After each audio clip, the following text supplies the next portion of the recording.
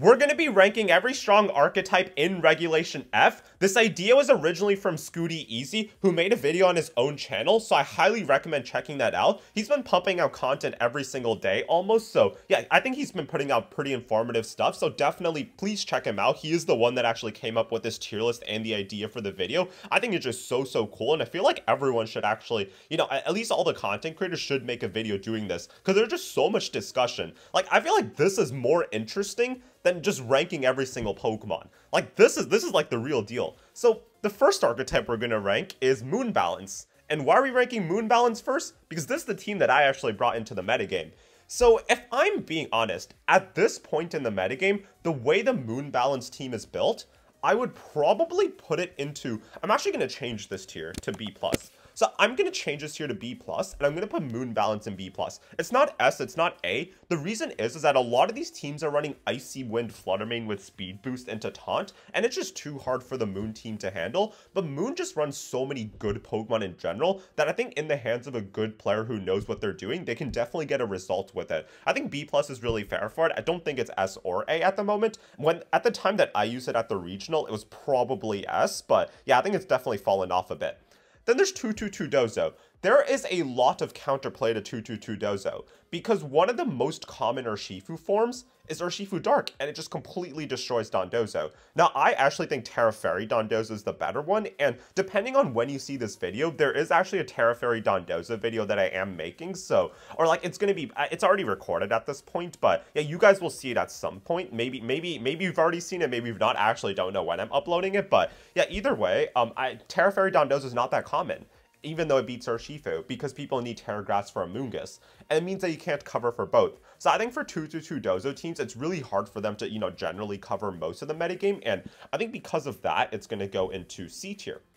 Then there's Fire, Water, Grass balance. And in terms of like Fire, Water, Grass balance, I think this one, uh, yeah, so th this one is more focused on the Amoonguss stuff. So Amoonguss, Ogerpon, Wellspring, and Incineroar. I think these three Pokemon are solid together, but the usage of Amoonguss stuff has fallen off a bit. I think though, into like into the current metagame, Rocky Helmet Amoonguss is really good. It beats Urshifu Rapid Strike, which almost everyone's running with Choice Scarf. You can really just pin that position down. And I think because of that, I'm going to put it in A tier. I, I do think Fire Water Grass in general, I mean, of course the Moon Balance team uh, has Fire Water Grass. I think the Roaring Moon, uh, unfortunately, is actually the one that's kind of bringing that down a little bit. So yeah, I do think that's a bit unfortunate, but I do think Fire Water Grass Amoonguss is definitely a little bit underrated right now. I don't think it's S tier, but it's definitely amazing.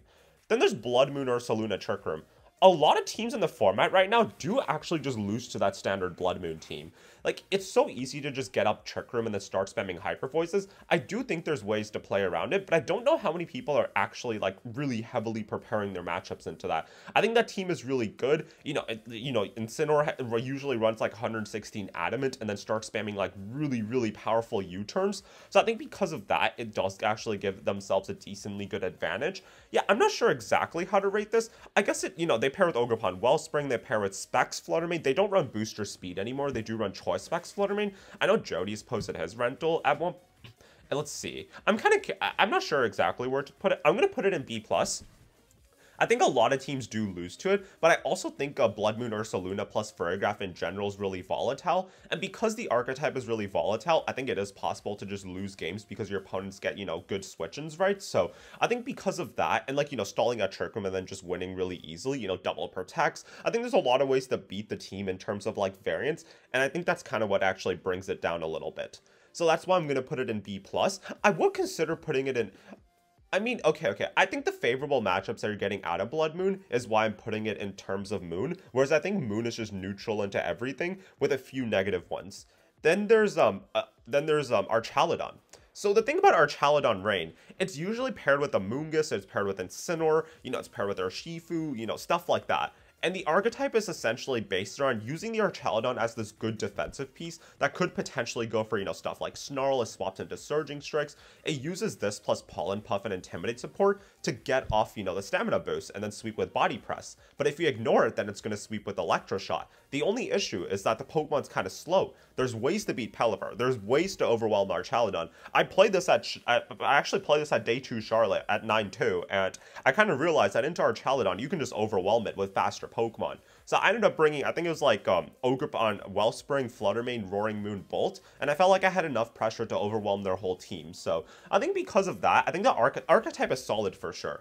It's just that it is kind of hard to pilot, and I do think that Archaludon is prone to getting overwhelmed. Just based on the metagame right now and based on things that can be Archaludon, I think that standard Calm Mind Raging Bolt team is actually amazing into the Archaludon stuff, especially since Lando I kind of counters it, and then, you know, Raging Bolt counters the Pelipper. And of course, like, Pelipper compared to some of the other Pokemon in the metagame just doesn't have the stats to keep up. It has the utility and everything to keep up, which is why, you know, it's used on this team, but it is overall a lower quality Pokemon in general. So I'm going to put it in B tier. Also, Archaludon Rain has not had that many results. Like, at least Blood Moon, Ursaluna, and Roaring Moon have had its results. So, whereas, so I'm actually, that's actually kind of the differentiating factor between B plus and B, at least at the moment.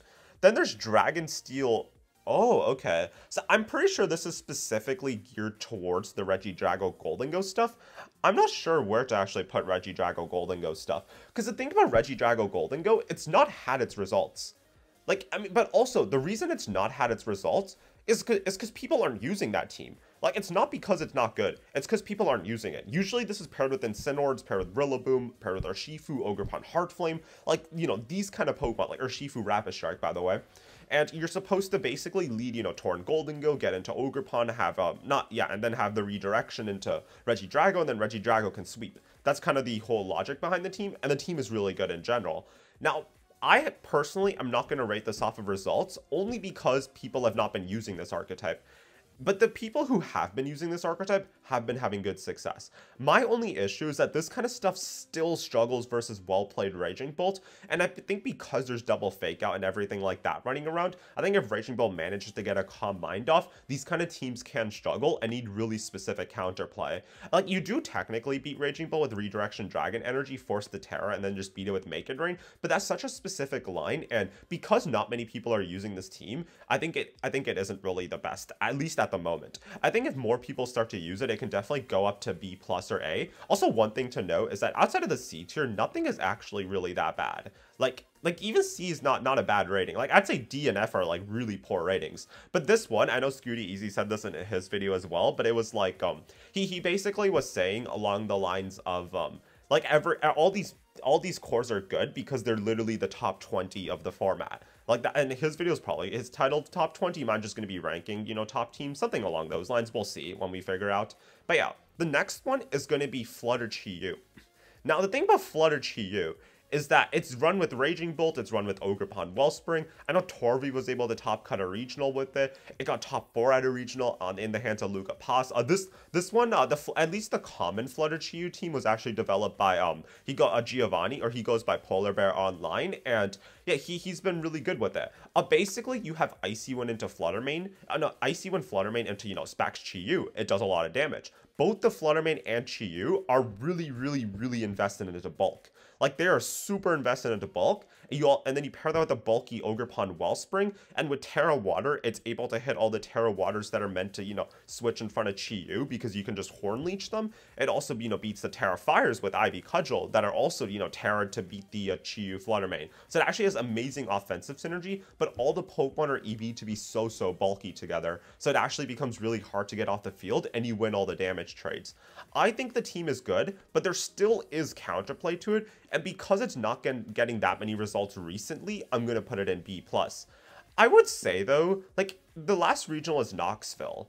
And Luca Posted, I'm actually going to put this in A tier. I think the offensive pressure out of this is too much, and I do think Specs Choose good. Yeah, no, no, th this definitely has its neutral matchups. We just have not had a regional in, in a while. Like, or like, we haven't had a regional in North America or Europe for so long that it kind of just like I, I think I think the results are definitely biased in terms of that, but just like even recently, if you consider Knoxville, like the fact that this did well, I think is a good sign to actually put it in A. So I'm gonna put Flutter Chi in A.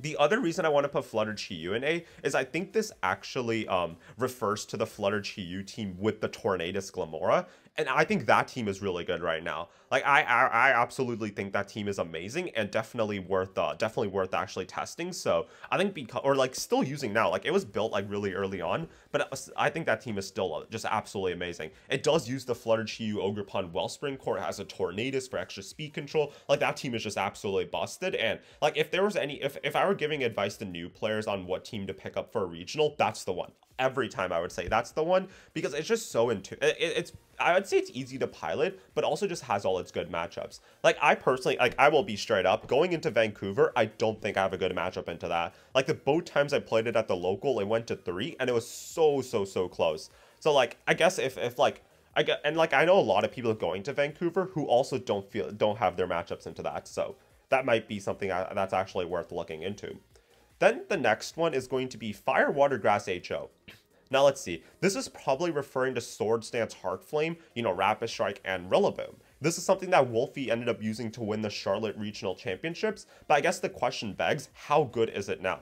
This the core does struggle into Dragonite, but it is paired with partners that beat Dragonite. I think Firewater Grass in general, I think Ogerpon Heartflame is absolutely amazing. There's few things that can handle it, and especially in the current state of the metagame, you just have to pair this with something that beats a Dragon type, which isn't that hard. Fluttermane's the best partner for these three, uh, like, you know, straight up. That, that's why, that's what Wolfie ended up using. That's what everyone uses. Like, like Urshifu, Rapid Strike, Heartflame, and uh, Rillaboom lose to, you know, stuff like Raging Bolt, lose to Dragonite. Fluttermane's a hard counter to that. So I actually think because of that, and because Fluttermane fits so well onto these cores, and because Heartflame is so busted, Tera Fire Ivy Cudgel has very few switch-ins. Like, even something like Raging Bolt swapping into a Tera Fire Ivy Cudgel gets two-shot on swap-in. Like, that's how powerful the Pokemon is. Ogerpon Heartflame clears max HP, max defense in DD. Tera Water Surging Strikes from most uh, Mystic Water Shifu cannot do that. So it is stronger than Mystic Water 252 Adamant Urshifu, Tera Fire Ivy Cudgel. Like, that's how strong the Pokemon is. It clears stuff like Lando I, it clears stuff like Ogerpon Wellspring Max HP. Even if it has a little bit of defensive investment, it still clears that Pokemon. So that's how strong Ogerpon Heartflame is. And I think because the Pokemon is so strong, it's really, really worth using with, you know, Rillaboom or Shifu. And I think it's just really broken. I think Heartflame is super under-respected right now. Like, the Pokemon is just so good. Like, even the Follow Me set, I think, is really good. Like, I don't think it has the best matchups overall, but it just hits so hard that it doesn't need to have the best matchups. It's kind of like Incineroar in 2022. Like, it lost to Kyogre and Groudon, and it still had 80% usage. It even lost to Zacian 1v1, and it still had that usage. So, I think that's kind of the concept that I'm getting out of Ogerpon Heartflame. Now, the next one on this list is going to be the King Gambit teams. These usually run, you know, King Gambit, Gouging Fire, they run Ogerpon Wellspring, sometimes they run Chien-Pao, sometimes they do actually drop that for Lando I, like James Evans did to get second place at Knoxville, I believe. Oh no, what was the regional at Toller one? Toller, Toller won Knoxville, I think. Because um, Justin cut Knoxville, and then Justin lost to Luca Paz, but then Toller beat Luca Paz. Okay, okay. So Knoxville was actually the one that Toller won. Okay. Yeah, I, I just want to make sure that I got that right. But yeah, at that, like, I think Gouging Fire, you know, stuff did actually get second place at that regional.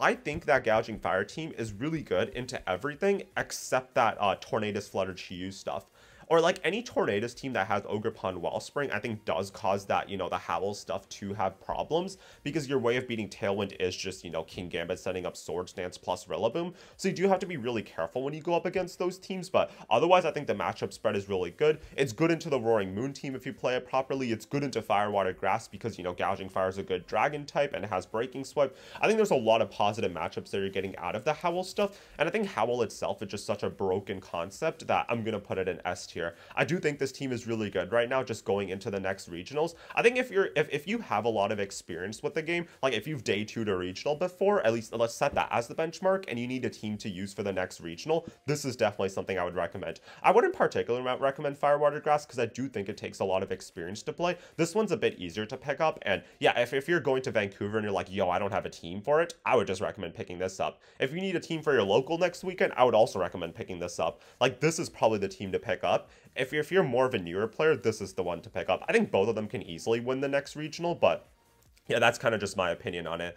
Then there's Kommo-O. So at the time that Eric Rios and Alex Gomez used the Kommo-O team, it was actually, so Scott Iwafuchi was the one that came up with the original team, and he was really, really high up on ladder with it, and Gomez and Rios did not have a team for the regional and they ran into um, you know Scott Iwafuchi, and they were like, "Yo, this team actually has really good matchups into the metagame. No one's prepared for it. You're really high ranked. You know, can we get your input on the team?" And yeah, he ended up giving his advice, and both Eric Rios and Alex Gomez were able able to make it into day two with that team, and then eventually at the next regional, um, they were able to make their own adaptations, and Rios was able to cut. So it actually ended up being really good back then. but now people are using stuff like Gholdengo. I think the thing about the Kommo-O Ting team is that people think the team is really boring, people think the team isn't very good, and because of that, people hyper focus on countering it. And because people hyper focus on countering it, the team itself actually ends up being pretty poor. So I think the reason the team ends up being poor is because people respect it a lot, like too much. I think that's actually kind of the uh, impression that I'm getting out of it. Sometimes Psy Spam cuts are regional because people under respect it because they think it's really easy to be. Here, people actually respected Kommo-O Ting-Lu so much that it actually not did not end up being the best archetype.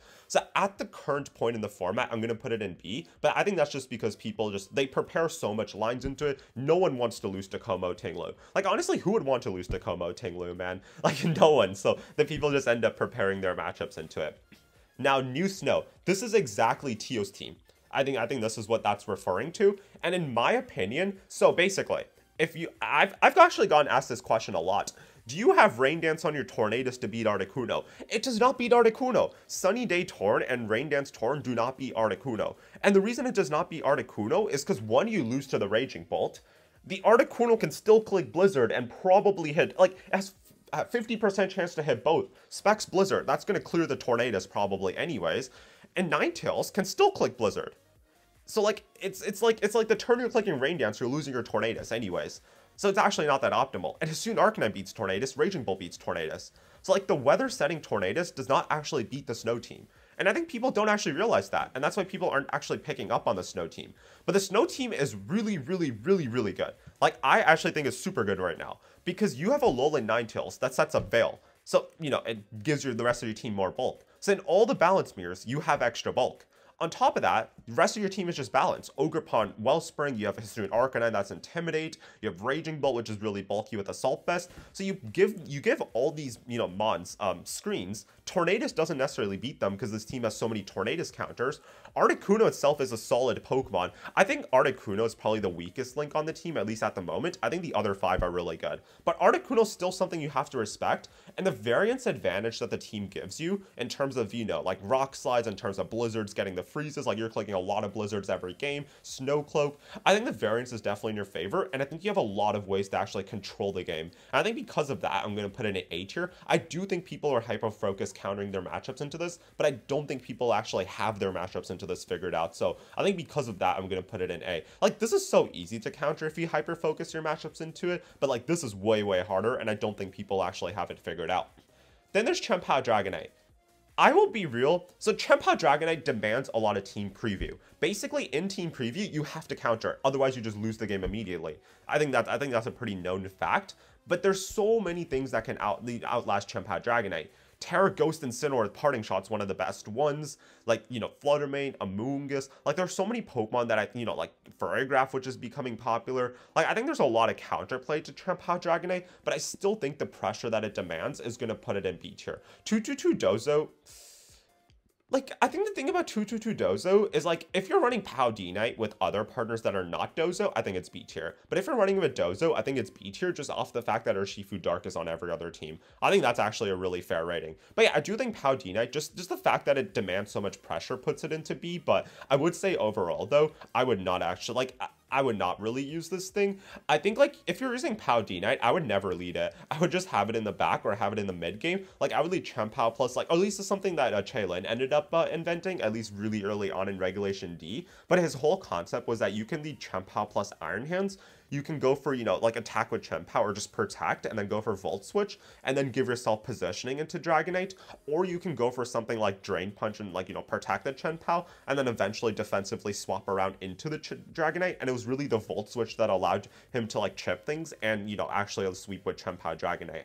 So I think you'd probably want to use it with a similar concept. Chien-Pao AV Rillaboom can do that with like slow U-turn. I think Chien-Pao Instant can even lead and do that. So that's kind of the direction you want to think about. I do think though the Assault Vest Dragonite plus Chien-Pao and Howl Gouging Fire is absolutely amazing. Like the fact that you can give that thing a howl boost and its inner focus is so wild. Like it gets the plus one, it has insane bulk, and it just wins games. Like I think that is absolutely amazing. Like that is so so hard to beat. Like how do you beat that? Like it, it's it's actually like really hard to counter. In close sheet, it's even scarier because the Dragonite could be banded and you can just lose a uh, like immediately. I actually pulled my friend Seawolf Mike's like immediate like that's that's that's that's what name he goes by online on best of one ladder, and his Dragonite was banded and I thought it was Assault Vest, and after he got a power boost, my whole team just got destroyed. So yeah, that definitely is something that could happen. But like either way, I think I think Knight, like B is pretty fair for it.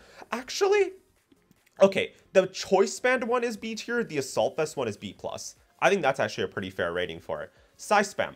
I think Psy spam's actually under respected. The archetype is solid. There is a lot of ways to beat Psy Spam though. I think everyone can agree about that, but the Psy Spam players know their lines. Because the thing about Psy Spam is you have to not only deal with, you know, the Psy Spam mode, but you have to deal with Torkoal, you have to deal with the, the potential Scar for Shifu. I saw some really innovative things actually at my local. A dude who, uh, Brandon Davis, who actually top cut uh, Portland with Psy Spam, had a really, really unique take on Psy Spam at the next MSS, and he was able to, you know, top cut that MSS. I got the chance to play him. It was such a cool archetype. It had like Iron Moth, they had like Ogerpon Wellspring, it had Iron Crown. I think there's definitely a lot of variants of Psy Spam, and I think when you're building Psy Spam, you have to be smart about how you build it. Like a Psy Spam version with Rillaboom and Ogerpon Heartflame, I think ended up winning one of the online tournaments. So you have to you have to think basically in terms of like how you're actually building the archetype. I think there's some I, I think you have to be really meticulous about it. It's a hard trick room team, so you do have to be smart about it. But yeah, personally, I think the Rillaboom variants are pretty cool. But yeah, I would I would give it B plus.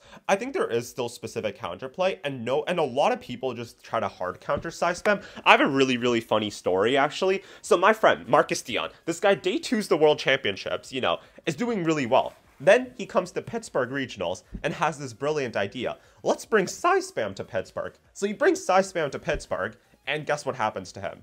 He pulls a person running Rillaboom plus Sub Heatran, gets completely destroyed because he had no counter to it. Then, next round, he ends up, uh, actually don't remember what he pulled, but he beat the guy. That, that's all we need to know. The round after that, he pulls a Rillaboom plus Heatran, drops to 1-2 because he has no matchup. I think the one he won was actually another Rillaboom Heatran. He just outplayed it completely because he's a good player, of course, right? He day two the World Championships, so he's sitting there 1-2. Then there were a certain Cana there were a few Canadian players that had a team that was like Amoonguss, Iron Hands, Nasty Plot, Gholdengo, you know, a lot of standard stuff. But they had a Thundurus on their team. And their Psy Spam matchup was Electric Terrain Thundurus because it can power up the hands, you know, give sleep immunity and everything. So it was a really cool tech. But he pulls that guy which which is who's also in our friend group. He loses, of course, because he had no matchup, so it drops to 1-3.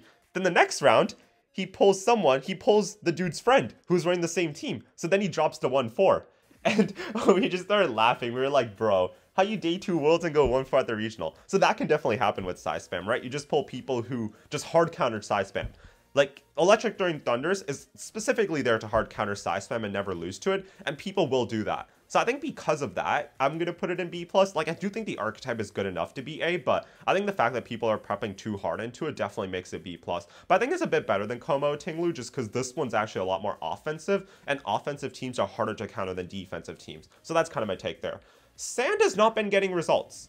It's just not. Like, we've not seen Sand top cut a regional. I mean, in Regulation F. It did win a regional in Regulation um, it was Regulation E, but the thing was that wasn't really a Sand team. That was just Tyranitar there to beat Psy Spam, and it was mostly actually focused on taking advantage of Kommo-O. I thought that was really, really cool, by the way. But either way, so basically, the thing about Sand is, I, I think we can actually come up with a pretty solid answer that it's probably C. There was a good Japanese team using Sand, and Aaron seemed to believe in it. I know he was talking about it at the local. He was like, yeah, you know, you have the Sand mode, you have Amoonguss. He, oh, so basically what Aaron said about the team, I'm pretty sure he said this in his video as well, but this is kind of just what I remember what he told us at the local. He was like, okay, Excadrill, so this this was it was a Tera it was a Tera Stellar Sash Excadrill. He was like, basically, you can't really sweep with Excadrill in the early game, but if you bring it in properly in the end game, it just closes out games really easily, and it's really, really potent in the end game. So that's probably how you want to play it, and that's realistically the way it should be played. So yeah, that's kind of my take. That I think I think I do really agree with that. Like Excadrill doesn't really have the power to knock things out, especially since it does need Focus Sash in this format. So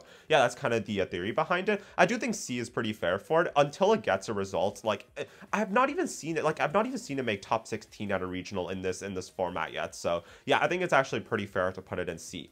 Then there's setup balance. So this is Calm Mind Sylveon, you know, Volcarona, and Calm Mind Raging Bolt. So like, you know, Quiver Dance and all that. So it's not all three of these Pokemon paired together, but it's some sort of combination of two.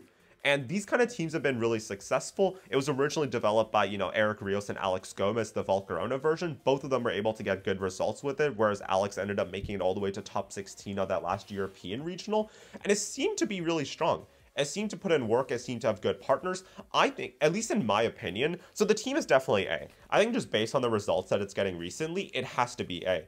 And I don't really think it has that much counterplay. It's just that you have to be a good player with it. Like, you have to be playing the team properly, and it does require a huge demand for you as a player to figure it out. But I think if you are able to figure it out, the team is really good. And in the and Eric Rios recently won two midseason showdowns back to back with it, and the week before he actually won two midseason showdowns back to back with it as well. And these are really difficult midseason showdowns in Spain, which had almost all the top players out of that out of that region coming. So it was a hard midseason showdown that Eric Rios was able to win four of them with the team. I think that just shows that the team is really good. And, and now obviously Eric Rios is one of the best players in the world, and he's also the one that made the team. So the results are definitely inflated because of that. But even so, I think the team is still good. So many people are using it. It's all over ladder, and this is definitely a team you have to prepare for. So yeah, I, I think his matchup spread is fine. It's it's just a neutral matchup spread where you have to be the better player.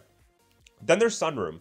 I guess Sunroom's basically the same as Psy Spam, right? My only thing is, I okay, I would say the reason Sunroom is B plus is the same reason Psy Spam is good. Like, you can win bad matchups by just spamming Sleep Powder, but it's so hard to get the sleep turns right and everything, and people have so much counterplay to this kind of stuff that it, it does end up becoming a little... Yeah, I think, okay, I think hard Psy Spam is better than Sunroom. I personally wouldn't run Hisuian Lilligant. I think the Pokemon is too risky. Like, of course, it can just randomly win a game if you bring it out at the right time and, you know, just start going for after you eruptions, but I think it's too risky, and personally, I wouldn't run it. Like, of course, you can win the games, but I think Psy Spam on its own is definitely better than, you know, Sunroom in general. At least that's just kind of like my my general take on it. I personally wouldn't run Sunroom. Like, I would just, if you're running Sunroom, I would just run Torkoal. Just run Torkoal, maybe run something like Raging Bolt and kind of play from there. But if you're running Sun, so this archetype, a Torkoal, Venusaur, and a Walking Wake, uh, this was used by, uh, not Venusaur specifically, but, you know, Torkoal plus uh, Walking Wake. This was used by Marco Fierro to win a large online tournament, and it was the final invitational of it.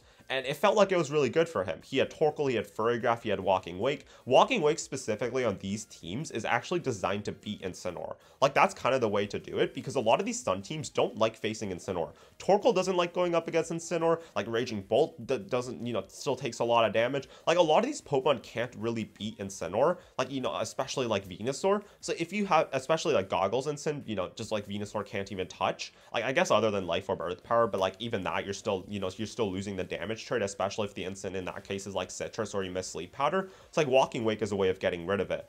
In my opinion, I'd say this is B plus tier. I think there still is a lot of counterplay to it, especially since Tornadus do commonly run Rain Dance. Like, these teams don't necessarily beat Tornadus as easily, whereas, like, you know, the other weather team, like, there's so many Tornadus, Tornadus counters. Here, there isn't actually that many, so I think because of that, I'm going to leave it in B+. plus. Actually, I'm going to leave it in B. I think I, I I can't really pair with Moon Balance and Palutena. Like, I think, I think, I think, I think, because this, this archetype's so volatile, like, I think there's definitely ways you can lose the game immediately, because, like, are you going to hyper-focus on the Trick Room mode with Eruption? Are you going to hyper-focus on the Fast mode? I, and also the fact that this team hasn't really gotten a top 16 at a regional makes me not want to put it in B+. plus. So I think B is actually pretty fair for it.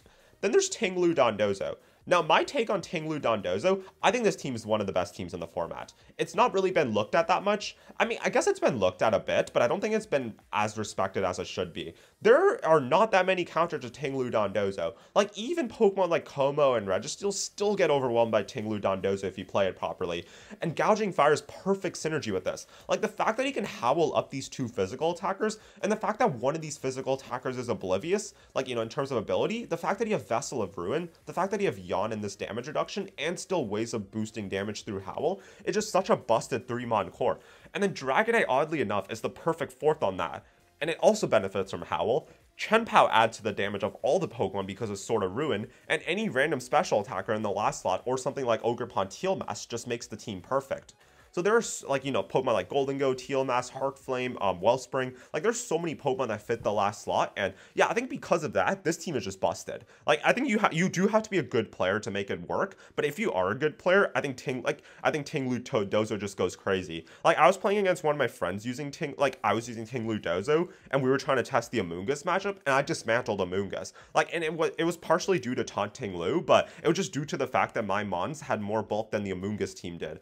And that's a crazy crazy feeling because Amoonguss teams are meant to have a lot of bulk. So the fact that like Tinglu Dondozo team felt like it had more staying power than the Amoonguss team, and the fact that that's the reason I was able to 2-0 it, I think is a really good sign for the archetype. Like just in general, I think the team is so good. Like I guess you could miss Santum and stuff, but you don't even need to go for that. Like you just yawn, spam Ruination, spam Ruination into Wave Crash. Like Dondozo's a strong Pokemon. Ting-Lu, like, you know, chunks everything with Ruination. It's like you're actually getting so much value out of the Pokemon. Rocky Helmet's so busted here. I think the team is just so well positioned right now. And hard counter stuff like Psy Spam if you play it properly. Like there are so many teams that just completely lose to Ting-Lu Dondozo. Then there's Tornadus plus Urshifu Rapid Strike plus uh, Lando I. Now, or like, you know, just these kind of archetypes like Torn Shifu. Now, in light of Torn Shifu, I, at least like my issue with this kind of team is that Raging Bolt is so, so annoying for it. Like, Raging Bolt kind of just hard counters this kind of stuff, and because Raging Bolt hard counters the main Mons, and because a lot of the Raging Bolt partners are good into a lot of these team partners, I think it does make it kind of hard to pilot. You do have to know the archetype to play it properly, but if you do know the archetype, I think you can definitely get a good result with it. I think B plus is really fair for it, because these teams do carry counters to Raging Bolt, like Lando I is one of the best counters, Flutter Mane is definitely one of the better counters, you know, Rillaboom with high horsepower is a good counter, so there's definitely ways to beat Raging Bolt, but again, the Raging Bolt team also has ways to beat these Pokemon, so it kind of just comes down to who plays better, but I do think the Raging Bolt player is definitely at a slight advantage there. Then the next one's Tailwind Psy Spam. This team has a really poor matchup into Assault Vest Raging Bolt. That's something that we were able to discover at some of the earlier regionals, and uh, when this team had its success, it's because AV Raging Bolt wasn't that good. Now, AV Raging Bolt isn't entirely a counter to it, like you still can lose the game, but I think I think overall, at least my take on Tailwind Size Psy Spam is that I would put it in I would put it in B plus tier. I think the team is still pretty solid. It puts on a lot of offensive pressure. I don't think people are respecting some of the Indeedee combos. Like people are respecting Indeedee into Iron Crown, of course, but I don't think people are respecting Indeedee into Hearthflame, you know, just fake in, into a Helping Hand Terrify or Ivy Cudgel. I think that's something that's definitely really good and worth looking at. So I think because of that, I'm gonna leave this in the B plus tier. I think there are definitely modes. I think Urshifu Rapid Strike Choice Scarf is really well benefited by Indeedee because of the ability to turn off terrain to block Fake Out and Thunderclap. So yeah, I think because of that, this team is still really solid. It did, you know, again, it, it has gotten its regional top cuts. So like in the hands of Toller Webb as Charlotte. So yeah, I think because of that, the team is good. But yeah, overall, I, I think this is a relatively fair tier list just based on some of the top teams. I don't even know how Sand made this list. Like, I personally would just put Sand into, like, a tier lower than 222 Dozo. But, yeah, I think all these archetypes are still usable. These are, you know, according to Scooteezy, the top 20 archetypes in the format. So, yeah, that is something that's definitely worth looking at. I might make a video, like, before this going over these archetypes because I think this is actually a really, really good list. But, yeah, that's pretty much it in terms of uh, this video. Um, yeah, let me know your thoughts in the comments below. And, yeah, Hope you have a good day. Thanks for watching, and bye-bye.